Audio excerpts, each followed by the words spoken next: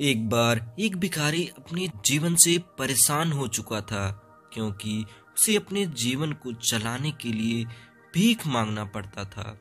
उसे हर एक चीज़ के लिए भीख मांगना पड़ता था। इसी बात को लेकर वह दुखी रहता और दिन भर यही सोचता कि उसके जीवन में बदलाव कैसे आएगा, यह सोचकर वह निराश हो जाता।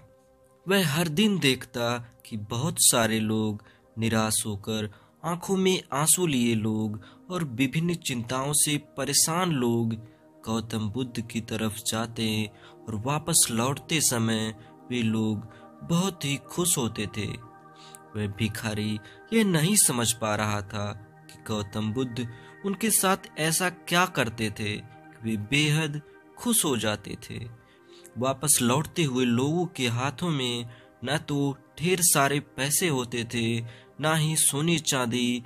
तो फिर ऐसा क्या होता था कि लोग बुद्ध के पास से लौटते वक्त इतना खुश होते थे? यह सब सोचकर वह भिखारी भी निर्णय लेता है कि वह भी महात्मा बुद्ध के पास जाएगा और देखेगा कि ऐसा वहाँ क्या हो रहा है कि दुखी लोग उनके पास जाकर खुश हो जाते हैं। वह बुद्ध से मिलने के लिए उनके पास चल पड़ता है। जहाँ बुद्ध मौजूद थे, वहाँ बहुत लंबी लंबी कतार लगी हुई थी तो वह भिखारी भी एक कतार में लग जाता है। कतार में लगकर वह अपनी बारी का इंतज़ार करने लगता है। देखते ही देखते उसकी बारी भी आती है और वह बुद्ध से कहता है, बुद्ध, मैं बहुत ही गरीब हूँ, मेरे पास कुछ भी नहीं है। मुझे अपना जीवन चलाने के लिए भी दूसरों से भीख मांगनी पड़ती है। अब आप ही बताइए कि मैं अपने जीवन को कैसे बेहतर बना सकता हूँ? यह सब सुनकर बुद्ध ने कहा, तुम गरीब नहीं हो। तुम्हें ऐसा लगता है क्योंकि आज तक कभी तुमने किसी के लिए कुछ भी नहीं किया है। ना ही तुमने कभी किसी को दान दिया है, ना ही तुमने दूसरों के लिए कुछ किया है। यह सब सुनकर भिखारी के मन में एक आशंका जाग उठती है। अपनी आशंका को दूर करने के लिए भिखारी ने पूछा, मैं तो एक भिखारी हूँ। मैं लोगों को दान कैसे दे सकता हूँ? और कैसे लोगों की सहायता कर सकता हूँ? मुझे तो खुद अपना जीवन चलाने के लिए दूसरों से मांगना पड़ता है।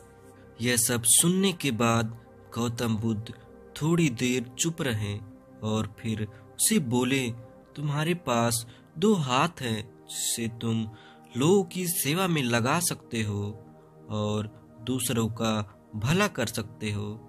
इसके अलावा तुम्हारे पास मुँह भी है जिससे तुम लोगों से अच्छी अच्छी बातें कर सकते हो और दूसरों का हौसला बढ़ा सकते हो।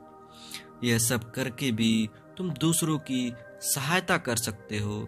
ज़रूरी नहीं है कि दान सिर्फ़ पैसों से किया जाए।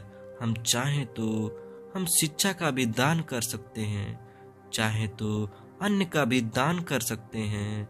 ऊपर वाले ने अगर किसी को पूर्णतः अच्छा शरीर दिया है तो वह गरीब नहीं हो सकता।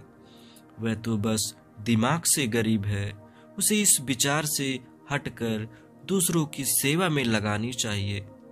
बुद्ध की यह बात सुन लेने के बाद वह भिखारी बहुत ही ज़्यादा खुश हो जाता है और उसका मन अब संतुष्ट हो जाता है। तो प्रिय मित्रों, हम सब इस बात की चिंता में समय बर्बाद करते हैं कि हम गरीब हैं, लेकिन यह सत्य नहीं है। सत्य तो यह है कि जब तक हमारा शरीर पूरी तरह से बेहतर है तो हम उसका उपयोग करके आगे बढ़ सकते हैं और खुद के जीवन को बेहतर बना सकते हैं। अगर कोई व्यक्ति सिर्फ़ अपने गरीबी पर ध्यान दे और उसे बदलने की कोशिश ही ना करे तो वह सबसे बड़ा मूर्ख होता है।